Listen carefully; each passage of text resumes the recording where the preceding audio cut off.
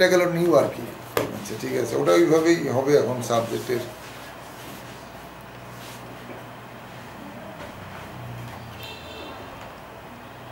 প্রিয় শিক্ষার্থীবৃন্দ, আজকে অনেক দিন পর তোমাদের সামনে আবার হাজির হয়েছি। আমি ডক্টর গুলজার হোসেন, অধ্যক্ষ, প্রাইম ম্যাথস, তোমাদেরই অতি পরিচিত এবং প্রিয় শিক্ষক। এবং আমারও তোমরা প্রিয় ছাত্রছাত্রী বৃন্দ, আসসালামু আলাইকুম।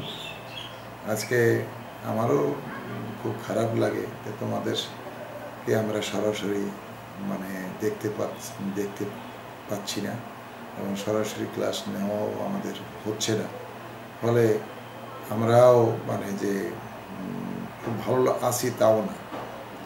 এই জন্যে আমি চিন্তা করেছি যে, না, ক্লাসগুলো অনলাইনে আবারও আমরা চালু করব। তোমরা ইতিমধ্যে এর আগে পর্ব দুটো পরীক্ষা দিয়েছ। একটা তো অনলাইনে পরীক্ষা দিয়েছ, বাড়িতে বসিয়ে লিখিয়ে খাতায় জমা দিয়েছ। আর এ পরবর্তীতে আর একটা সেকেন্ড এভালুয়েশন পরীক্ষা হয়েছে, যা তোমরা এখানে প্রতিষ্ঠানে আসিয়ে পরীক্ষা দিয়েছ, যা এইটাকে পরীক্ষা বলা হয়। এবং অনেকেই খাতা দেখেছে রেজাল্টও আমরা প্রকাশও করেছি, রেজাল্ট হতাশাব্যঞ্জক তোমরা দেখেছ। তাহলে আসলে তাই, অবশ্য এটা তোমরাও পুরাপুরি দায়ী না, আংশিক তো বটেই, পুরাপুরি দায়ী না। কারণ পড়াশোনার থেকে অনেকটা তোমরা দূরে আসো এবং পড়াশোনা আমরা যেভাবে নেওয়ার কথা সেভাবে তো নিচ্ছি না। অনলাইনকে, অনলাইন ক্লাস আমরা নিচ্ছি, অনেকে ফলো করতেছে না। অনেকে আবার আমাদের এমবি মেগাবাইটেরও স্বল্পতা অথবা ইন্টারনেটও দুর্বল, যার জন্য ফলো করতে পারতেছে না। এটাও আসলে সঠিক। ফলে আমরা এইটুকুই আমরা তোমাদেরকে মানে একটু বলে দিতে চাই। ইতিমধ্যে সেক্রেটারি স্টেট মেডিকেল ফ্যাকাল্টি এসেছিল গত মাসে এপ্রিলের প্রথম দিকে। তাতে তার সঙ্গে আলাপ হয়েছে যে যে প্রতিষ্ঠান খোলার দুই মাস পরেই ফাইনাল পরীক্ষা হবে তাহলে আমি অবশ্য বলেছি যে, খোলার পরপরই পরীক্ষা দিলে তো সে ছেলেপেলেরা কিছুই জানবে না এবং এদের খুবই। তা আমরা দুই মাস কমপক্ষে যদি দুই মাস বা তিন মাস মিনিমাম দুই মাস আমি বলছি মিনিমাম দুই মাস, দুই তিন মাস যদি আমরা পাই, তা সরাসরি যদি আমরা তোমাদেরকে ক্লাস নিতে পারি যা, তাহলে আমরা একদিনে আমরা যে সমস্ত ক্লাস একদিনে আমরা অনলাইনে যে সমস্ত আমরা পড়াইছি, সেটাকে আবার রিভিশন দেওয়া যাবে। আরও তোমাদেরকে টু ওয়ে কনভারসেশন মানে যেটাকে ডিডাকটিভ মেথড হ্যাঁ যে health এডুকেশনে one way and two way deductive method আচ্ছা এগুলাকে আমরা ফলো করিয়া আমরা আরও তোমাদের গতিশীল করতে পারব। তা এই জন্যে আজকে যেটা আমরা দেখো তোমাদের কিন্তু আমরা অনেকটাই কভার করেছি। মেডিকেল ইথিক্সের কিছু অনেকটা বাকি আছে, আমরাও বেশি জোর দেই নাই। কারণ মেডিকেল ইথিক্সটা আসবে কয়েকটা বিষয়ে, পাঁচ সাতটা আমরা তোমাদেরকে বলব ওইটা তোমরা মুখস্থ করতে হবে। কারণ ইট ইজ এ খুব হার্ড সাবজেক্ট মেডিকেল ইথিক্স নৈতিকতার বিষয়। মেডিকেল রুলস অ্যান্ড রেগুলেশনের বিষয় আছে। তো ফলে আমরাও কথা বলব, কিন্তু মূলত কমিউনিটি হেলথ যেটা আমরা এ যাবৎ তোমাদের বলেছি, যেটা আমাদের এই যে আইটেম যেটা মনে করো, এই যে আইটেমকে যদি আমরা তোমাদের সামনে তুলে ধরি, এখন এই ধরো ফার্স্ট টার্মে যে আমরা কথা বলছিলাম PHC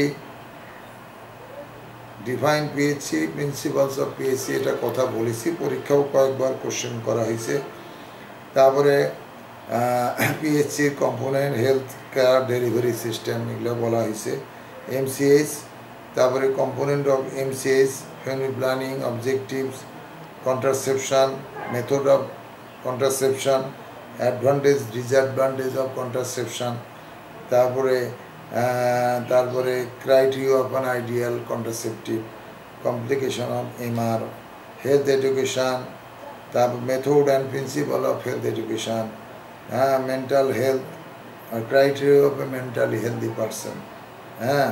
তারপরে আমরা জেনেভার declaration that is medical ethics নিয়ে কথা বলছি হ্যাঁ। তারপরে তারপরে ইয়াতে কম্পোনেন্ট অফ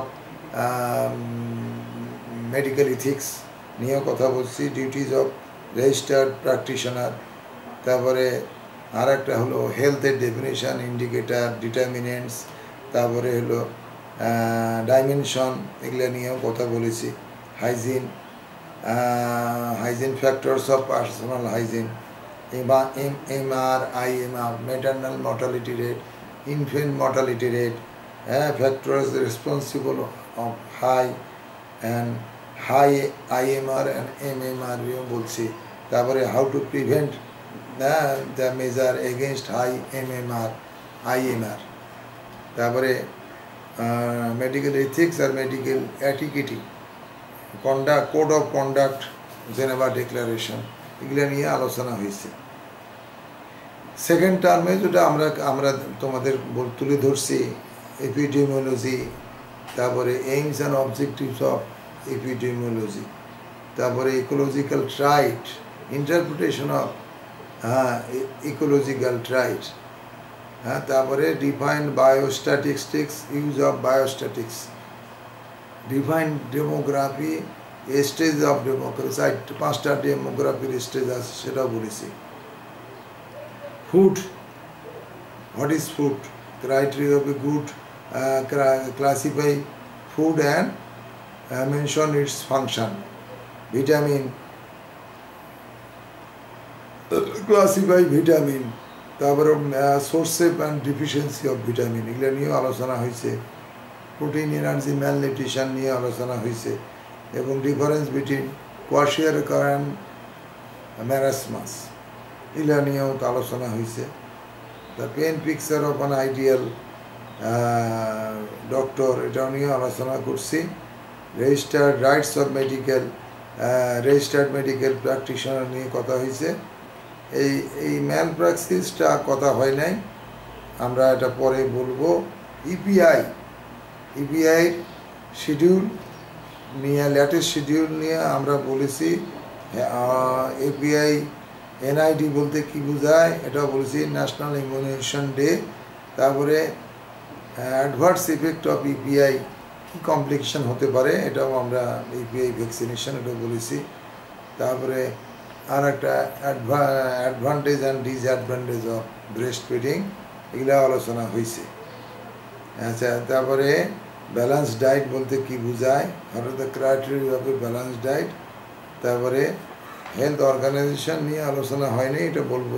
হোয়াট ইজ জোনেটিক মানে অ্যানিম্যাল থেকে ম্যানের মধ্যে যে, পশুর থেকে যে অ্যানিম্যাল যে রোগটা পশুর থেকে যে মানুষের মধ্যে যে রোগ ছড়ায়, একে বলা হয় জোনোটিক ডিজিজ হ্যাঁ জু মানে চিড়িয়াখানা। চিড়িয়াখানার পশুর থেকে যে সমস্ত রোগ ছড়ায় হ্যাঁ যেমন আমাদের এটা একটা প্যান্ডেমিক চলতেছে, কি সেটা এই করোনা এটাও পশুর থেকে ছড়ায়।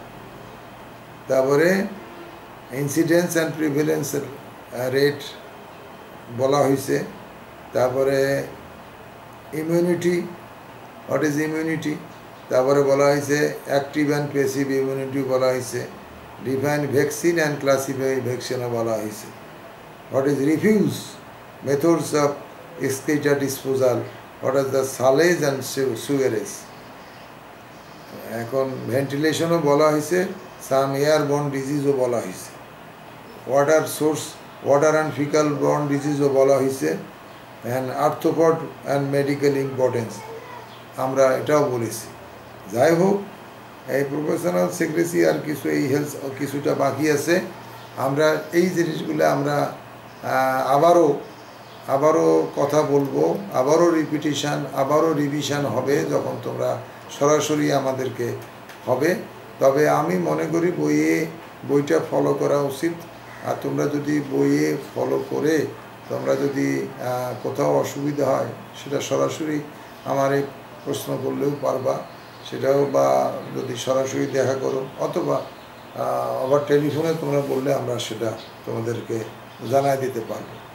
তা এখন সব, সর্বোপরি পড়াশোনা করতে হবে। পড়াশোনার একটা ধরনেই ফিজিক্যালি আমরা অনেকটা এখানে সিস্টেম আমাদের করা আছে। যেমন আইটেম কার্ড আইটেম কার্ড আমাদের আমরা দেওয়া আছে, কিন্তু আইটেম কার্ড পরীক্ষা নিতে পারলাম না। এবছরই, কেননা করোনার কারণেই বন্ধ। ক্লাস টেস্ট পরীক্ষা আমরা নেই, সেটাও আমরা নিতে পারতেছি না। সেটাও একটা সমস্যা। আর একটা ব্যাপার হলো যে তোমার আমরা এই, যার জন্য তোমরাও কিছুটা ডেভেলপ হচ্ছে আমরা পরীক্ষা, আরও পরীক্ষা নিতাম। এই একটা বছরে তিন, চারটা পরীক্ষা নেই ক্লাস টেস্ট পরীক্ষা নেই আইটেম পরীক্ষা আমরা নেই। হ্যাঁ এগুলার থেকে বঞ্চিত হলা এবং যার জন্য তোমরা অনেকটা পিছিয়ে গেল এবং তোমরা অনেকটাই শিখতে পারতেছো না। এখন আশা করি যদি প্রতিষ্ঠান খোলে, সরকার চালু করে, তাহলে আমরা সরাসরি ক্লাস নেব, প্র্যাকটিক্যালও আমরা তোমাদেরকে দেব। যেহেতু এটা মেডিকেল সায়েন্স, অবশ্যই তোমার প্র্যাকটিক্যাল দেখতে হবে, করতে হবে। তা সেই জন্যে আমরা তোমাদেরকে এতটুকু আমি আজকে বললাম, আমি আবার নতুন করে রুটিন রিভাইস রুটিন করেছি। প্রতিদিনে দুইটা করে ক্লাস হবে। প্রতিদিনের ক্লাস হবে, দুইজন টিচার তোমাদেরকে কথা বলবে। সেটা নতুন যারা ভর্তি তাদের থেকে তোমরা পুরানা ফার্স্ট ইয়ারে দুইটা ফার্স্ট ইয়ার আর ওর ফার্স্ট ইয়ার এইভাবে আমরা রুটিন করেছি আর অন্যান্য তো আছে সেকেন্ড ইয়ার থার্ড ইয়ার এইভাবে আমার রিভাইজ রুটিন করেছি। আশা করি এবং এটা চলবে যতদিন আমাদের সরাসরি ক্লাস চালু না হয়, ততদিন পর্যন্ত আমরা অনলাইন ক্লাস আমরা নিব। সরকারের ঘোষিত প্রোগ্রাম পেতে আর যদি আশা করি চালু হয় ক্লাস তাহলে তো আমরা সরাসরি ক্লাস নিতে পারব। তো এই ব্যাপারে তোমাদের যে এখন হলো পড়া, পড়তে হবে। তোমরা নিজেরাও দেখলা, পরীক্ষা দিয়ে ভালো রেজাল্ট করতে পারো না। অনেকে প্রশ্নও বোঝো নাই। আমি খাতাটা অনেকেই দেখছে, খাতা আমি দেখাইছি, তবে উপস্থিতি কম ছিল, অনেকে দেখতে পারে নাই। আমাদের অফিসে আছে, পরবর্তীতে তোমরা যখন প্রতিষ্ঠান খুলবা তখন দেখিও যে কি খাতায় লিখছো, কেন নাম্বার পাইলা না কত ফেল করলা কেন, সেটাও তোমাদের অ্যানালাইসিস করতে অ্যানালাইসিস না করলে তো বুঝতে পারবে না। What is wrong and what is right এটাও তোমাদের জানতে হবে। তা আমি আশা করি যে আজকে একটু ব্রিফিং করলাম যে তোমাদের বেশ করে যারা তোমাদের ওল্ড ফার্স্ট ইয়ার তাদের কিন্তু আমরা অনেক অনেক লেকচার নিয়েছি, অনেক আপলোড করা আছে এই লেকচারগুলা এবং তোমাদের বইও তোমাদের হয়তো সবাই সংগ্রহ করছ। এখন শুধু মানে পড়তে হবে, আর এটাও মনে রাখতে হবে তোমাদের ইংলিশ মিডিয়াম ইংলিশে লিখতে হবে। বাংলায় তো চলবে না, বাংলা অর্থ জানতে হবে। তাহলে মনের মধ্যে একটা দাগ কাটবে। এই হলো কথা। তো সেই জন্যে এখনও যদি তোমরা হেলথের definition primary health care PHC definition component তারপরে মনে করো প্রিন্সিপাল হেলথের ইন্ডিকেটার্স এগুলো যদি বলতে না পারো, তাহলে দুঃখজনক। তাহলে কীভাবে তোমার কোয়ালিফাই করব, কীভাবে পাস করব। আর সেই জন্যে আমরা এই ভ্যাকসিন যেটা এপিআই এপিআইয়ের মধ্যে কয়টা ভ্যাকসিন কীভাবে কোনটা কোন রুটে দেওয়া হয়, কয়দিন গ্যাপ দিয়ে দেওয়া হয়, এগুলা একটু দুই চারজন মিলিয়ে যদি তোমরা একটু আলোচনা করো। হ্যাঁ তাহলে জিনিস আরও ক্লিয়ার হবে। মেডিকেল সাবজেক্টে হলো একটু গ্রুপ স্টাডি করা। অথবা দুই তিনজন মিলিয়ে পড়লে আরও সবচেয়ে বেশি এটা কার্যকর। নিজে একা হয়তো বুঝতে পারতেছো না আর এক বন্ধু সেটা আরও ক্লিয়ার করে দেবে। এইটা তোমাদেরকে, এটা মেডিকেল সায়েন্সের এটা নিয়ম, এইটাই হলো ব্যাপার। এবং প্র্যাকটিক্যাল যেটা আছে প্র্যাকটিক্যালগুলোকে তোমাদেরকে গুরুত্ব দিতে হবে। তো এই জন্যে আজকে আমি মনে করি যে, আজকে একটু অনেক দিন পর তোমাদের সঙ্গে কথা হলো। সবাই ভালো থেকো। আমার জন্য দোয়া রাখো তোমরাও, আমিও দোয়া করি যাতে তোমরা করোনা মুক্ত থাকো, সুস্থ সুন্দর জীবন থাকে। এই বলে আমি শেষ করছি। খোদা হাফেজ।